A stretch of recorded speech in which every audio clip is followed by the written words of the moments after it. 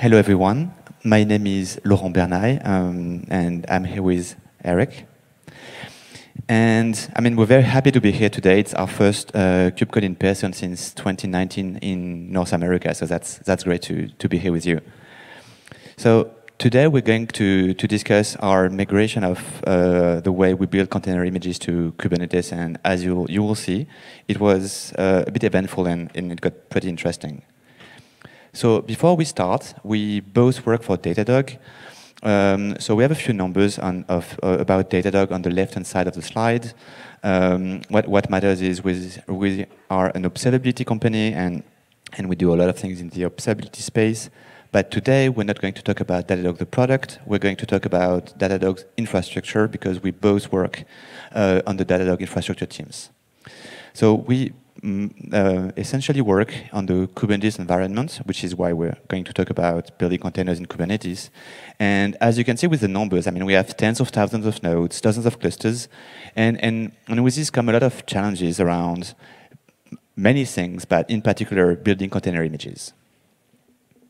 So before we dive into uh, interesting issue, let's do a quick overview of how we build things at Datadog.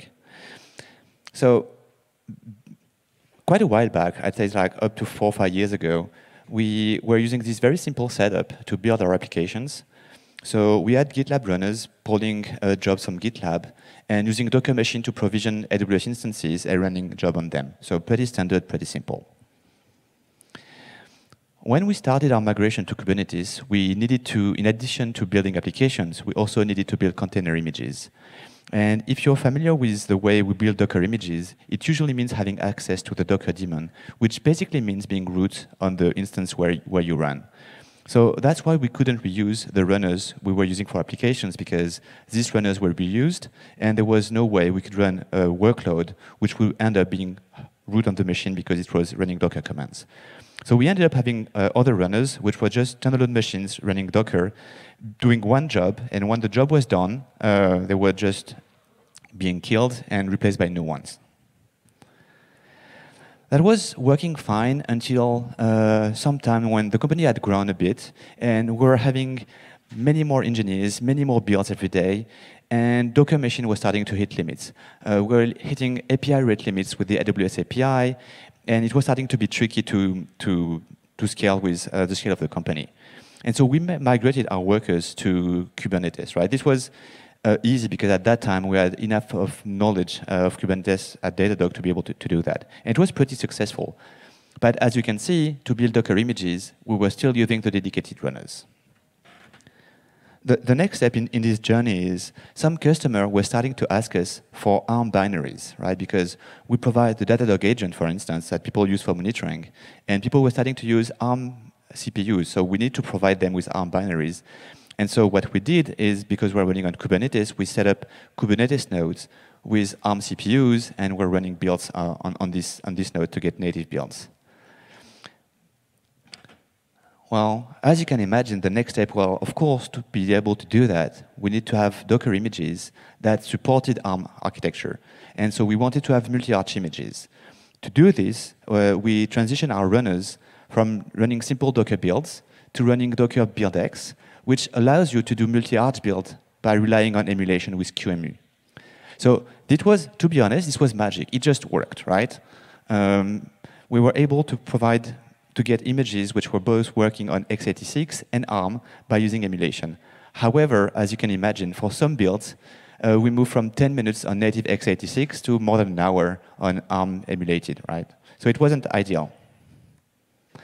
And, and today, the talk is going to focus on this part, like how we build images and how we transition to, to Kubernetes.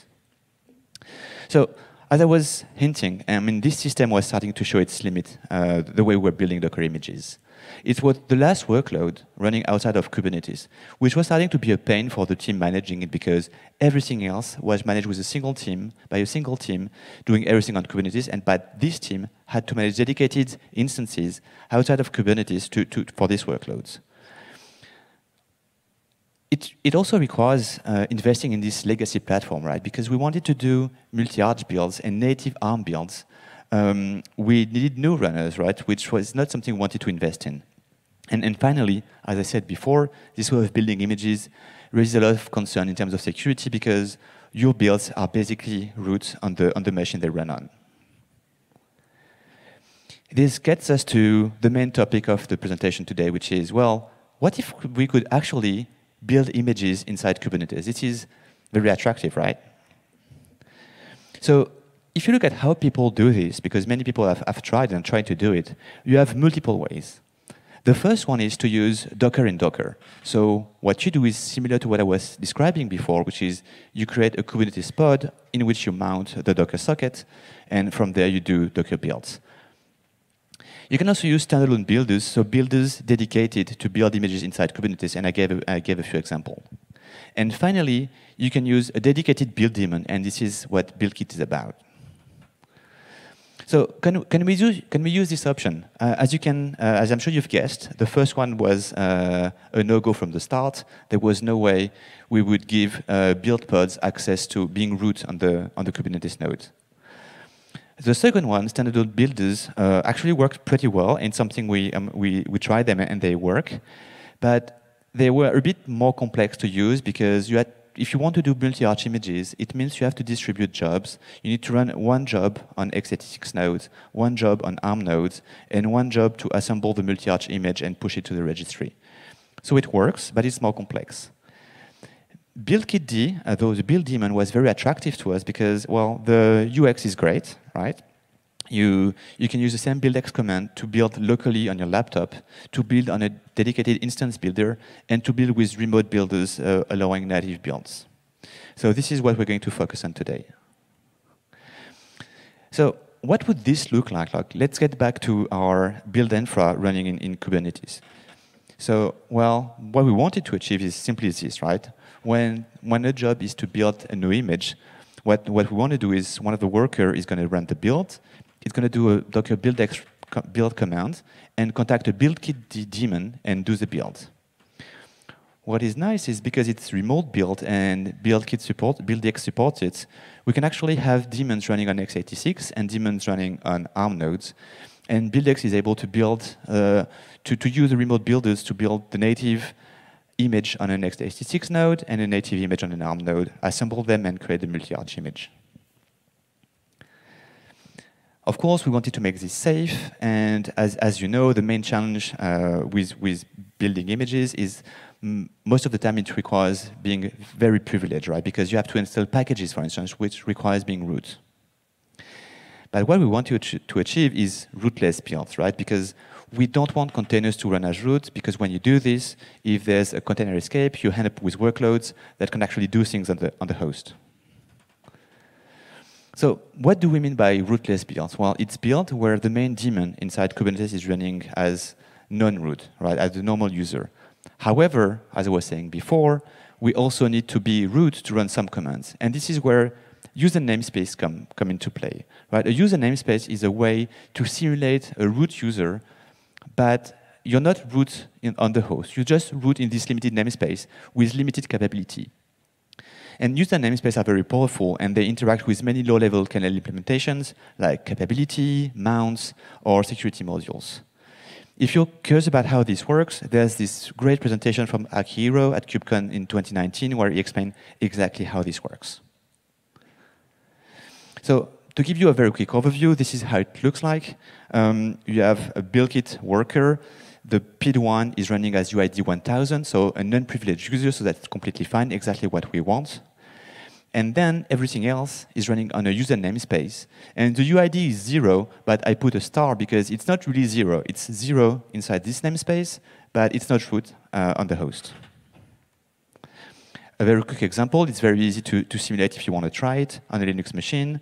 This command will create a user namespace, and in there you can see we're root in the namespace, but we can't touch a file that requires being root on the host. So th that's why the touch etc slash x fails, because we're just root in this namespace, we're not root on the host, so we can't do something that requires root permission on the host.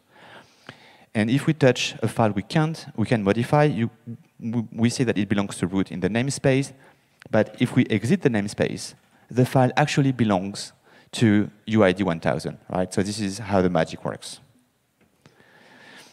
so this is the, the, the, the, main intro. Now we're going to dive into interesting and fun things. Um, to, be, to be fair, when we started working with BuildKit, everything mostly works, right? More than 80% of the builds just worked out, out of the box. But today we're going to focus on the 20% that were interesting. Because otherwise, where's the fun, right? So we're going to present to you like three different issues, and we're going to go into increasing complexity. So the first one uh, is well, actually simple enough. It took us only a few, a few hours to understand what was happening. So this issue started with this extremely complex Docker file, right? It's, we're just getting uh, an image from a public registry and running echo test. What could go wrong? I mean, this feels like something that should work, right? Well, when we run this inside our uh, rootless BuildKit environment, here is what we got. So that was, of course, very surprising because this is like a, the most basic Docker file you can use. And something that's interesting is we've got an operation not permitted message, but it says something about mounts. So something might be happening with the file system. So that's pretty surprising. Let's look into it. So what we wanted to understand is what was happening. So what we did is we s-traced the BuildKit D daemon, and we started the build, and we looked for uh, permission errors, right? And this one is actually pretty interesting, right? We have this command that is trying to set an extended attribute, and it's actually a SE Linux attribute, and it's failing. And, well, I made the joke about it's always DNS because I tend to talk about networking issues, and to be fair, it's often DNS, but it's also quite often SE Linux. And the only thing I, need, I know how to do with SE Linux is how to disable it, I'm sorry. So, I mean, we had a very good insight, a very good idea what might be happening. And, and so what we did is we downloaded the layers of the image, extracted the tarball, and look at the content of the tarball. And as we suspected, there's actually SE Linux label, labels on the files, right? And it turns out, if you're root on a host user namespace, you can modify the security context of a file. This is what we do at the top of the slide. However, if you're in a user namespace, which is the second part of the slide, and we're entering the user namespace used by BuildKitD, we can't modify the SE Linux attribute of a file, right? And the kernel disallow it. You can't do it if you're in a user namespace, which makes sense. So this is uh, the issue. We open an issue upstream. To be fair, there's no magic, nothing we can really do. But it's pretty easy to mitigate, right? Either you remove the SE Linux attributes by pulling and pushing the file, or you use an image without any SE Linux label, which, to be fair, is something I would recommend you do. And we were lucky enough because this one was an upstream image, and the one just the release just after the one we were using actually didn't have the labels anymore. Let's move to issue number two. So this one, uh, as you're going to see, was slightly more complex and, and took us a few days to, to understand. So the Docker file is a bit more complex, uh, but once again, no rocket science, right? We're just downloading a deb file, and we're trying to install it. And of course, as before, this works perfectly fine if you do Docker build. It works perfectly fine if you use build kit in root mode. However, when you use BuildKit in rootless mode, and you, and you do exactly this uh, for this specific app, the build times out. So because uh, we are very scientific, we retry, right? And this time it failed again, but it failed in a very different way. It failed with an error saying, well, address already in use. That's very weird. So at that point, well, we're like, let's try and understand what's happened, what's happening. So we tried again. Well, this time it was consistent at least. We're seeing the same error, uh, address already in use. So it was very confusing to us. So what we did is said, well, let's try from scratch let's delete the BuildKit dpod and try again. Well, this time the build times out. Okay, we're back to what we had at the beginning. Well, let's try again. This time it fails with the same thing. So at least it's consistent. We, have a way of reproducing the failures in a way that is reproducible, but doesn't really make sense yet. So let's debug. Um, so we use this, uh, this, this way to debug, right? Or, which is pretty simple. We just added netstat at the beginning and at the end of the command to see what was happening. And when we start with the new buildkit dpod, the first netstat shows no port bound, which is very expected. But the second one shows that the, the port is, is, is bound by, by the app daemon, and the build hangs. Okay, that's what, so maybe package installation is starting a daemon, right? It happens sometimes. Let's do the second build. When we do the second build this time, netstat is showing that the port is bound, and package installation fails with address already in use. So we're getting somewhere, right? It looks like package installation is starting a daemon, and it looks like the daemon is still running when we do the second build, which makes little sense because it's a completely separate build. So can we reproduce this by using uh, a different method? So we use this very simple reproducer. So you have the Docker file on the top left of the slide and the script on the top right. So it's pretty simple. We just start from Ubuntu, we have the script, we run the script, and we echo the script is done. And as you can see here, everything works fine, except we never get to the last line of the Docker file because the build hangs. So exactly what we were saying before. So it's a good thing. We've reproduced. What seems to happen is, well, if we look into the container, uh, we actually see Sleep still running, which is eh, what we were suspected before, right? Remember, some app was still running, and that's why the port was bound. So it seems that the process is leaked or, and, and never stopped. So let's, let's look exactly at what's happening under the hood. So this is the anatomy of the buildkit worker. So we have the buildkit daemon. When we start the build, buildx is going to do an exec in the pod it's going to start the build steps. So here it's going to run bash. Bash is going to run sleep in the background. And what's important here, and we're going to come back to this later, is there's no process sandbox. We can see all the processes uh, in the container. So if you exec into this pod and run ps, we see our build step, but also we see build kit D, root kit, we see, we see everything. And when when bash exits, so bash is not there anymore, the build hangs, and the process is still there and never cleaned up. So at that point, we're like, well, we, we got curious, right? What, has, what happens if we actually kill sleep inside this uh, hanging uh, build, build pod? Well, we were able to kill it, but it was never garbage collected because it's, and it became a zombie, which was also kind of interesting to us. So at this moment, we took a step back. Um, how does it work usually? So build step use, usually run in a process sandbox, and when the step finishes, uh, all the process inside the sandbox are killed. However, in rootless mode, we run buildkit with this flag that is very clear. Like this flag says, well, you don't get a process sandbox. And because we don't have a sandbox, we can't keep track of all the processes starting during the build, and we can't clean them, and we can really clean them up. So this got us to, but why do we need this flag? And the reason we need this flag is because of the way procfs work in containers. So when you create a container, you have your own procfs.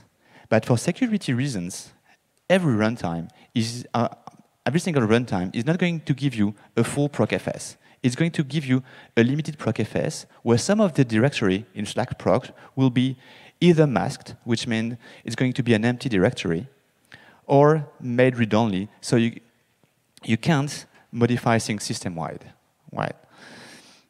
And, and that makes sense. That's for security reason. We don't want to expose too much things to containers, and we don't want containers to modify things on the host. However, when you do this, so you're in a container, you have a proc which is partially masked for security reasons. If you want to create a new procfs, which is what we would need to do to create a sandbox for our build step, we actually can't because there's a kernel check that's called mount_too_revealing, which is verifying if you, the procfs you have access to is partially masked or not. And if it is partially masked, it won't let you create a new procfs. And that's why we actually need our worker to not try and, and, and create a sandbox for the processes. And that's why all the processes are seen inside the buildkit process namespace. In, in conclusion, I mean, there's no real solution to date. We, we chatted about it with maintainers in this issue extensively, and there's no real way to do it. Uh, there are potentially multiple multiplications. The one we use, we're using for now is we're making sure that our Docker files are not starting daemons in the background, or if they do, we explicitly stop them, so that's easy enough.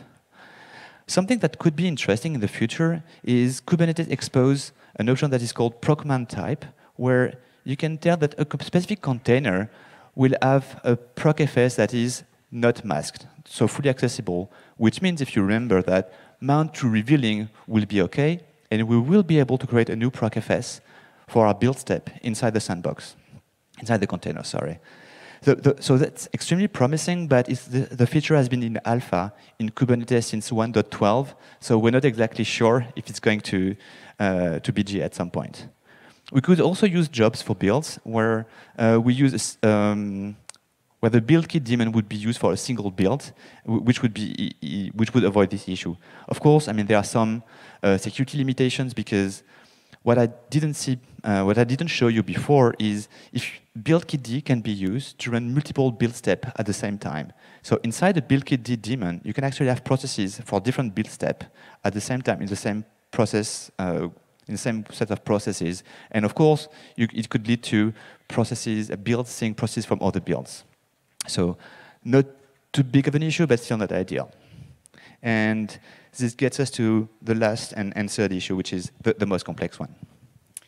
Okay, yeah, so our last talk was uh, at KubeCon was Ghosts in the runtime. Uh, we like Ghosts, so this time Ghosts in the file system. Um, so we're just going to build a Go program. So here it's the local volume provisioner, uh, fairly straightforward. We clone the repository, check out a specific tag, and then run Go build. What could possibly go wrong? Well, we get a compilation error. Uh, consistent read, redeclared. Uh, it's clearly declared in two files here, read.go and consistent read.go.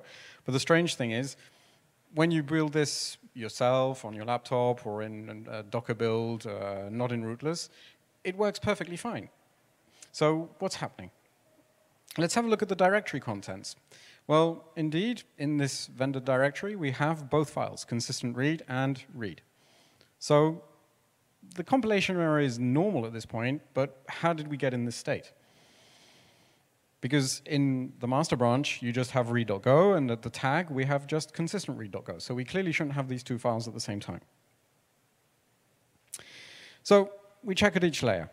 Um, the git clone shows that we have read.go. That's expected.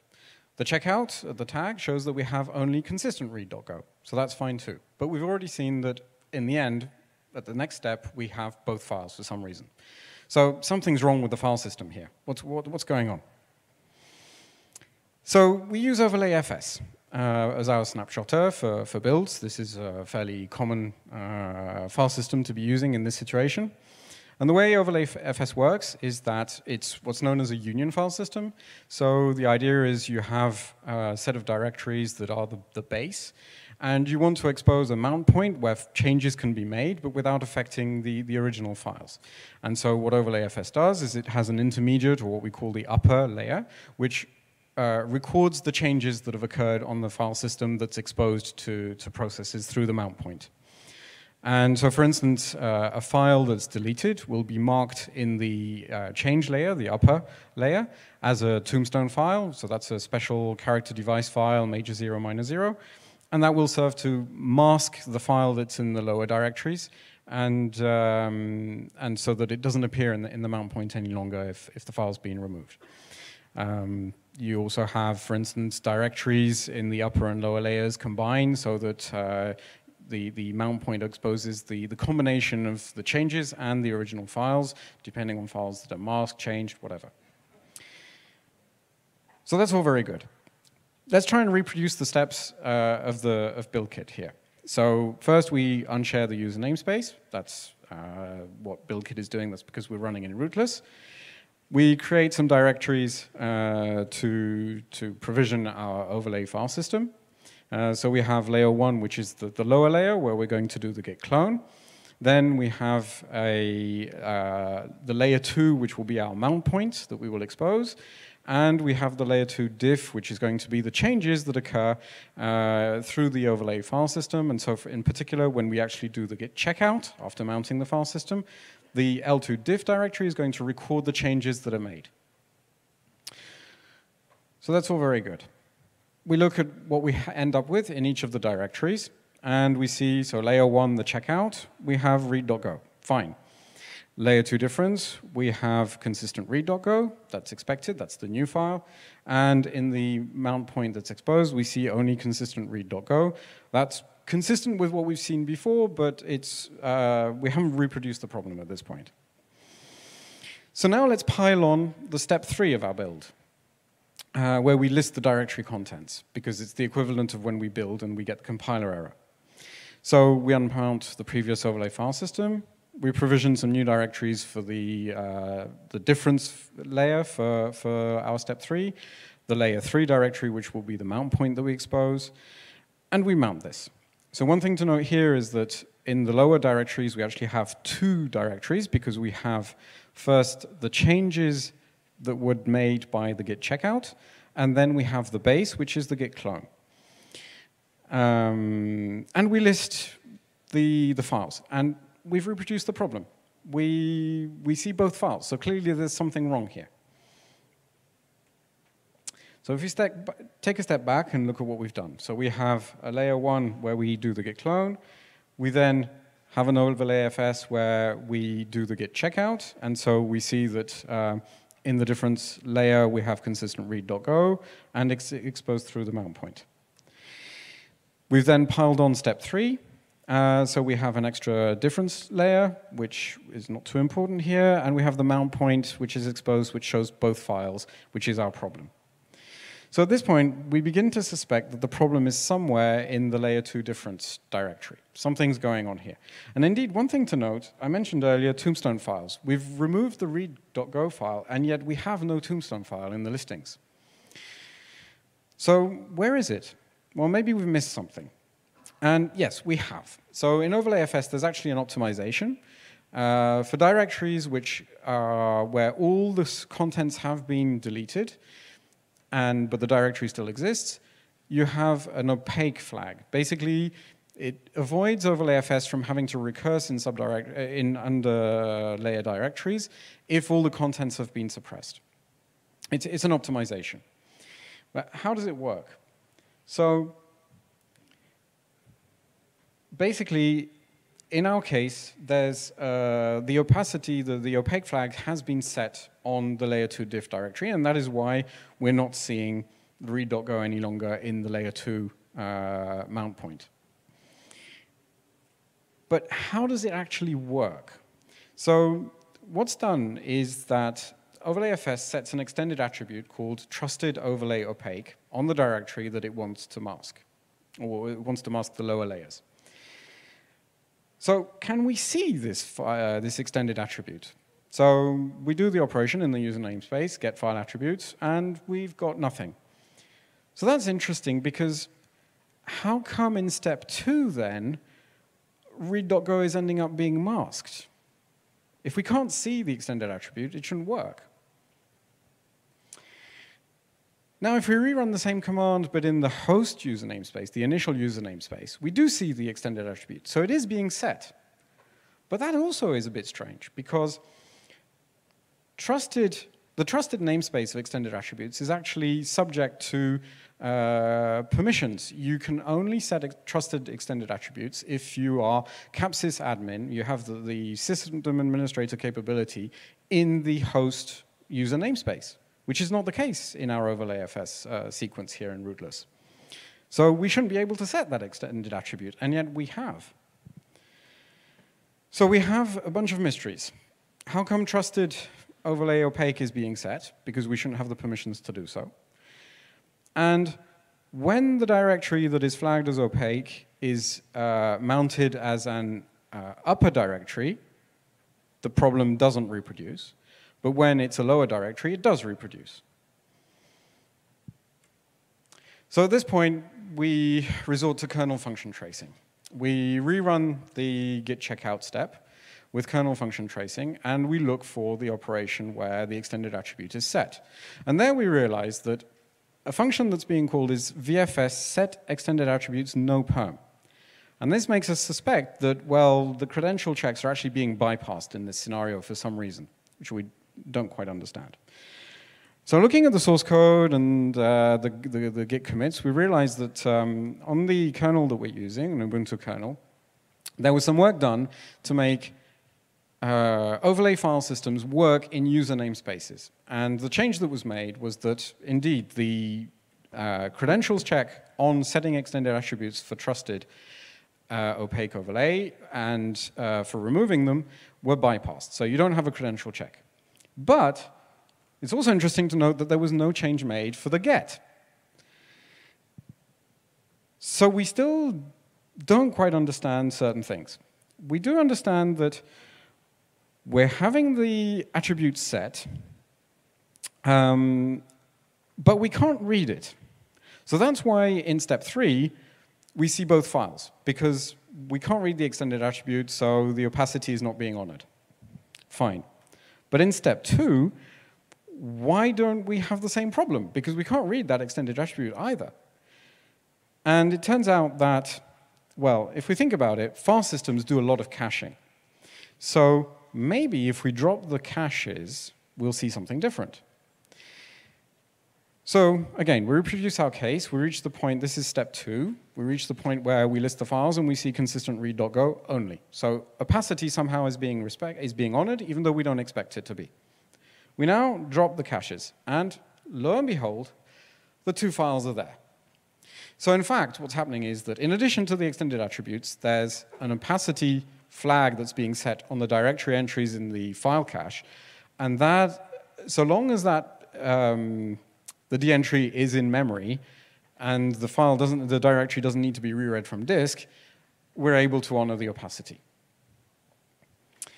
So in short, um, the kernel we're using added a patch to make user uh, overlay FS work inside user namespaces, but it was a partial change. It only changed the set and the remove of the extended attribute. And thanks to caching, well, sometimes the opacity is honored and sometimes it isn't, which leads to some rather interesting behaviors. Now, the nice thing is that actually in uh, kernel 5.11, a new option was introduced to overlay FS mount options called user xattr. And what this does is it changes the namespace that's used for the opacity and other overlay FS um, extended attributes. And it makes it possible for any user to, be, to set the extended attributes simply because they're not any longer in the trusted namespace. The other nice thing is that BuildKit actually, uh, the overlay implementation adds user xattr support when it's available. And so all we had to do was wait for kernel 5.11 to be available for our uh, distribution, for Ubuntu, and uh, then simply roll it out to our nodes, renew our nodes. And from that point, it just worked. So at this point, we've solved, I think, pretty much all our problems with building images, and so we have some pretty good results. Um, as Laurent said, we, you know, right from the, the get-go, we had something like 80% of the images were actually building fine with BuildKit in rootless mode, and really it was just a matter of getting past the last few hurdles. Um, starting with a monorepo for building images, dedicated to building images, was clearly very helpful here because it really, you know, sifted through all the problems uh, very fast. Um, so it allowed us to decommission our dedicated Docker runners, uh, giving us, you know, easier node lifecycle management. Uh, the the developer experience team no longer needed to manage a dedicated set of Docker runners and things like that. And it helped us get native multi-arch builds uh, because, well, yeah, emulation is way too slow. So currently we have several hundred distinct images that are being built on Kube. Um, all, I mean, all our images are now built on Kube anyway. And so this system is now handling more than a thousand builds a day, perfectly reliably, and uh, we're, we're really happy with it. Um, so our messages are that BuildKit, you know, is really good. We, we've had a very good experience with it. Um, it gives us remote builds. It gives us multi-arch images really easily. Um, rootless is or was a little bit bleeding edge. Um, but you know, with the changes in kernel 5.11, overlay FS in user namespaces has become really uh, very usable. Well, it works fine. Um, I think really the only problem we still have slightly, that, you know, that could affect us uh, is the process sandboxing. And so I think at some point we'll have to check out uh, the procMount unmasked uh, option that Laurent mentioned. And that's it. Thank you.